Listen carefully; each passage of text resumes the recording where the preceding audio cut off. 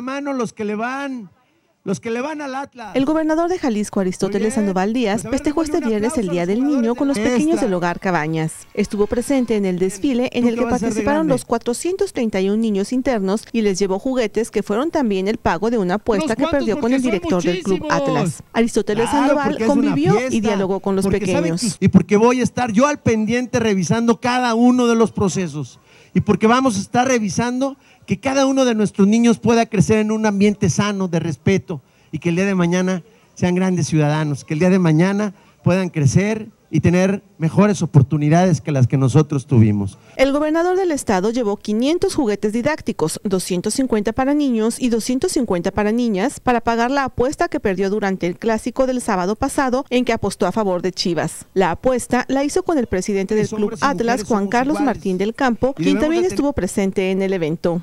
Montserrat Mauleón Lee, Milenio Noticias.